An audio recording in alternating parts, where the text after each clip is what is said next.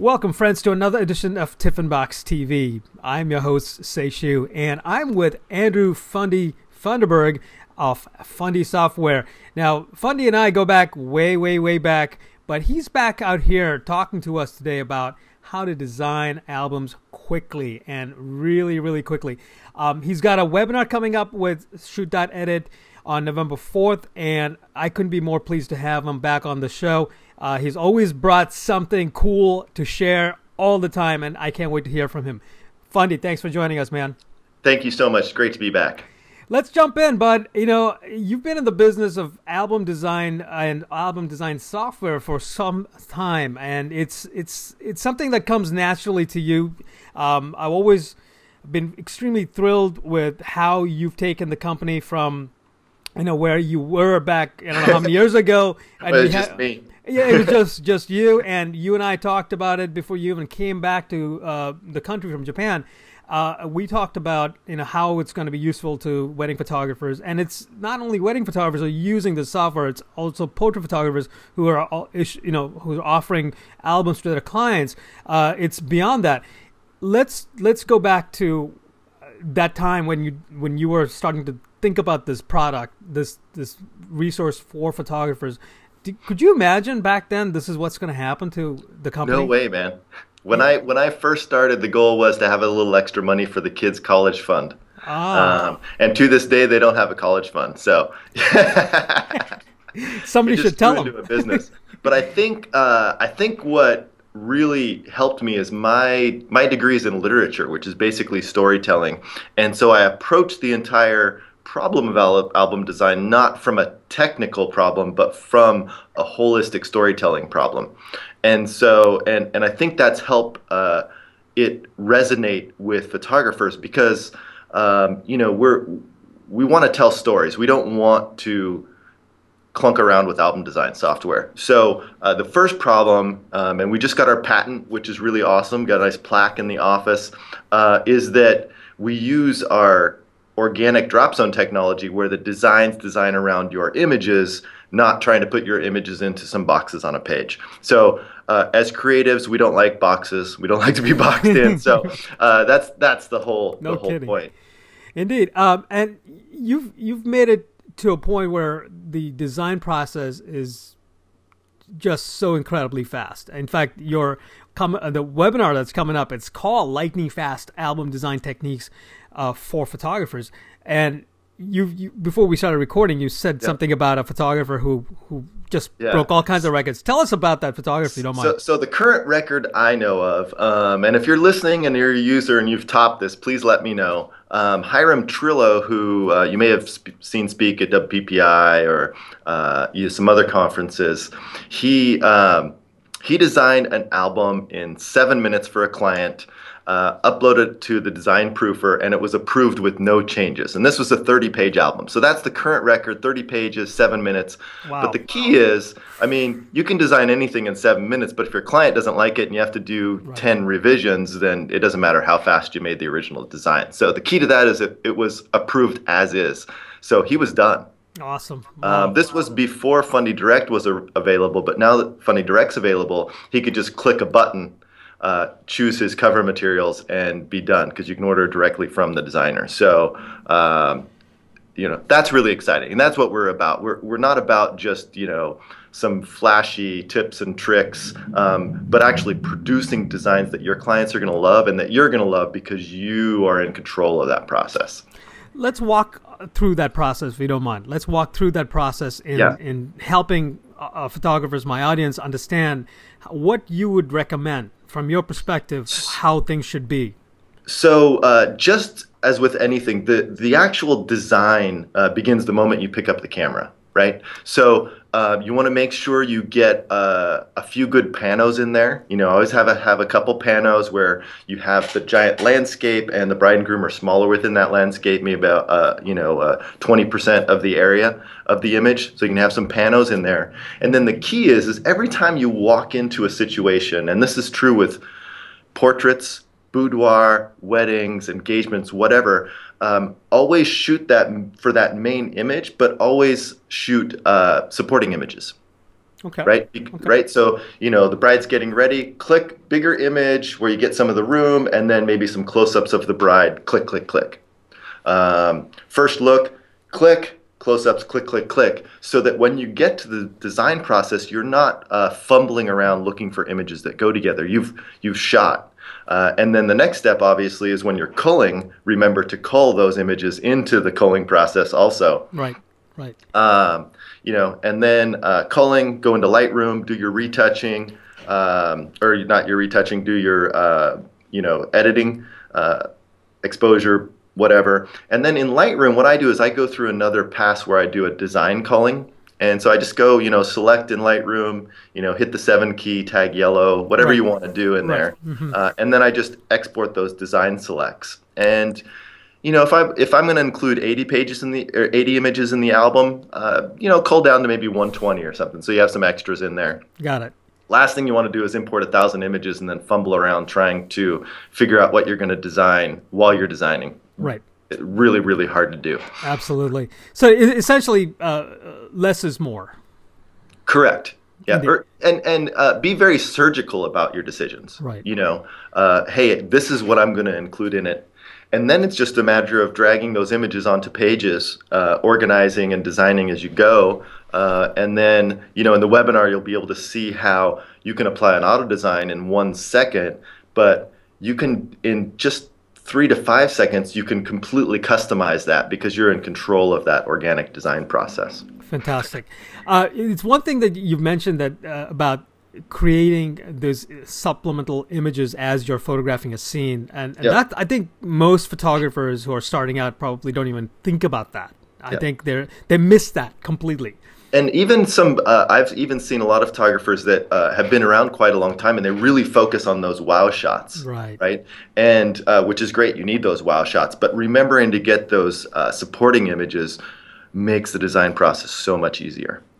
Um, when it comes to to getting feedback from the clients i know you have a, a, a resource or product that yep. allows a uh, client to come in and, and, talk about well, you know kinds of changes mm-hmm. that he or she would like in yep. the album. Um, how easy has it been for photographers to incorporate that sort of process in, in terms of uh, making so, those making those changes or understanding those changes and making those changes on, yep. on your on your software?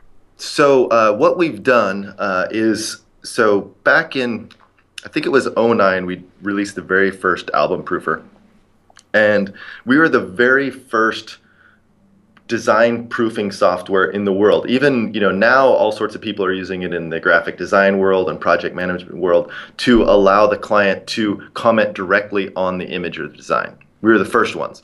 Now everybody does it, right? Everybody's sure. copied uh, what we do. So with this last iteration of Design Proofer, what we've done is uh, instead of concentrating on comments and changes, which just creates more work for you, we really have tweaked the design to really focus on approvals. Oh, awesome. Right. Okay. So getting getting approved as quickly as possible, and if that client needs changes, they can easily do that.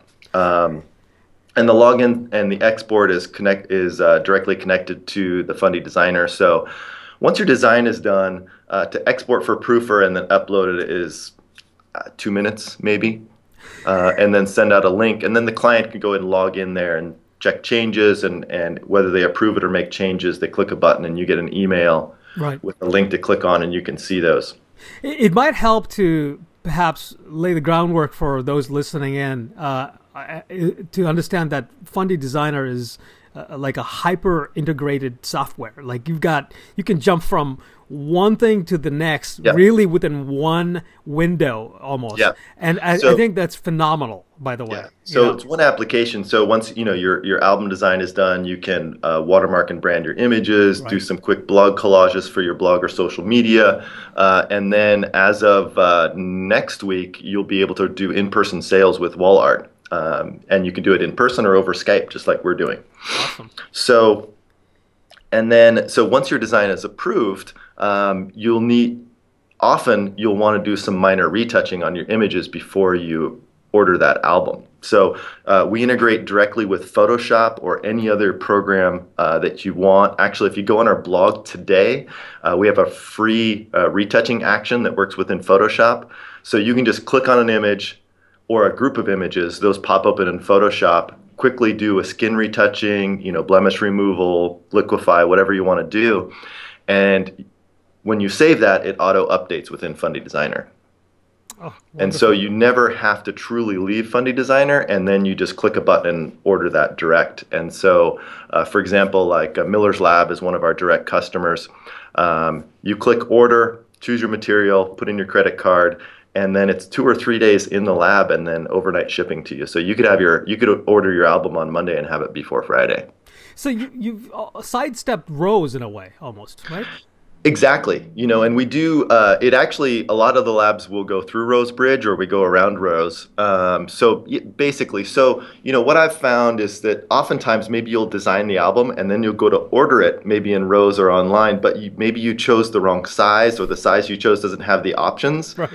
So you have to travel back or, you know, you have to go look for a login or you have to, you know, it takes an extra 10 or 15 minutes, right? Which is profitable. So we've built the ordering right within the Fundy Designer. You click a button, exports, uploads all within the application. Once it starts uploading, go design another album or whatever you want to do. And once that upload is done, you click a button, choose your cover material, imprinting, you know, any of those album options, uh, and then you check out. You're done. Awesome. Hey, uh, your uh, your webinar is coming up on November fourth. I wanted to just remind people it's Yeah. uh, thanks to ShootDotEdit. Uh, wonderful people there. Uh, you know, if you are a wedding photographer, particularly a wedding photographer who's actually working on photographing weddings constantly, and you've got just a ton of work to process, let ShootDotEdit handle it for you, please. Exactly. So Yeah. if ShootDotEdit does it, then they, you know, you can get that Lightroom catalog back, open it up, just choose your design selects, Right. and then shoot that out. And then we also have, if you are, you know, I talked about Photoshop retouching, but if you're a Lightroom only person, Mm-hmm. once your album is done, uh, we have a function where you just click a button and it gives you a Lightroom friendly search list of only the images in the album. Oh, wonderful. And then you can create a sub collection in Lightroom and tweak those images, re export and auto update in Album Builder also. Wow. I mean, just just think That's, of that's crazy stuff right there. It is crazy stuff, and, and think of the, the time savings on that. You know, Yeah. and, and and you know, I don't know if we can beat seven minutes, but definitely having having having this these. If you do, let me know. I know, right? I, if you have these these tools uh, in front of you and you're not using them, I don't know why, really. You know, uh, because it's it, time saved is time made. You know, uh, or money made. So. Um, Let's uh, quickly talk about the, the webinar itself. Is there anything specific that you're going to be bringing to the webinar uh, that, or that we can talk about briefly as a teaser, or or, or, are we done? Well, so you know that's that's the thing. In the last webinar uh, I did, I was able to do a wedding signing book and family album all within one webinar, wow. which included you know uploading to the proofer, uh, talking about design concepts. So you know, no matter what type of photographer you are, uh, whether you know it's wedding, uh, boudoir, uh, portrait, um, every single one of our clients deserve to have their story in print. You know, I'm a firm believer. Everybody deserves to have their story in print because uh, everything we have in the digital realm will one day be lost, right? We can't. I have hard drives on my shelves. I don't even know what images are in the hard drives, right? And um, when uh, when we pass away, you know, our children may, our grandchildren definitely definitely won't open up our old hard drives, but they'll definitely pull uh, an album off the shelf. They'll definitely pull canvases that are up in the attic out to check them out. So if we commit to telling the stories of our clients and putting them in print, you know, we're really doing something for their grandchildren and great grandchildren. Indeed. That's such a, a, a really a truly noble cause in my mind as well. I completely agree with you that we should be printing prints and albums and everything else that goes on a wall as well needs to be on, on actual material that you can you can actually enjoy Yeah. all the time. Um, yeah, tell us tell us a story about that. So yeah, this this piece of paper, this actual print, I'm holding the print is 100 years old. Wonderful. Look Wow. at the lighting on that. Ph- phenomenal, phenomenal. So this was a uh, great uncle that went to World War One. Uh, he had this portrait taken and then sent back to his family, and then he was killed not too long after that. So this is wow. this is the last photograph of him. Right? Yeah. You know, and we, you know, we've all heard those stories. You know, we do a portrait shoot and somebody gets cancer, somebody gets hit by a car. You know, there's there's tragedy all around us, and you know, we have the privilege of preserving someone's story. Indeed, indeed.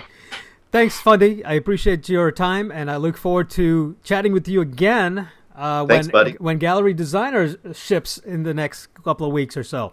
Yeah. Talk to you soon. Bye. Okay. Talk to you later. Bye.